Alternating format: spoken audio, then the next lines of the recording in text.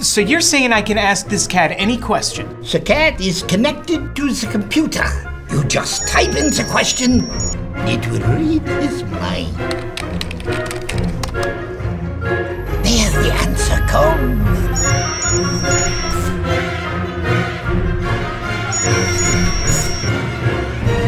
You're the man! I've been looking for this for weeks.